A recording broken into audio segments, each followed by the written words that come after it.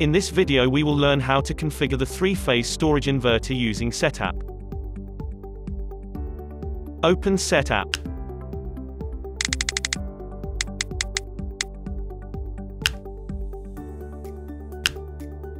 Scan the inverter barcode and create a Wi-Fi connection.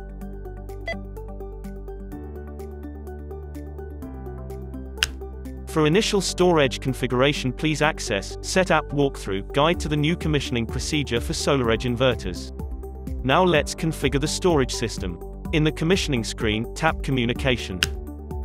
In the following steps we will show how to add an energy meter to the storage system. Tap RS4851. Tap Protocol. Tap Modbus.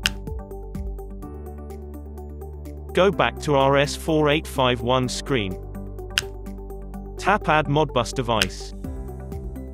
Tap Meter.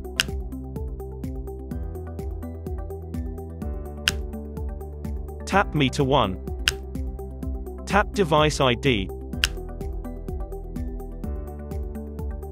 Change device ID and tap Done.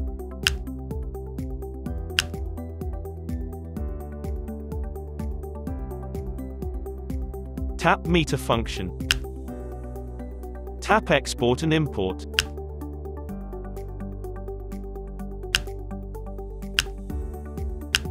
Now let's show how to connect the battery to the storage system. Tap CAN. Select the desired battery type from the menu.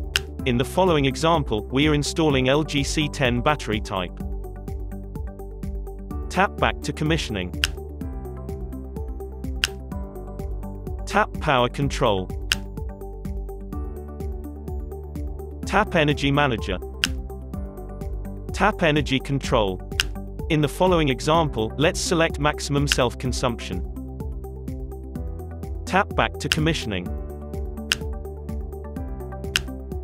Let's now check that the energy meter and the battery are correctly connected to the storage system. Tap Status to review your configuration. Check Modbus connected on RS4851 bus.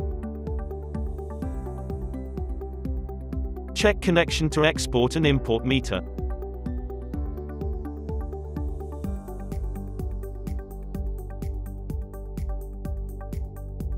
And last, check connectivity to the battery.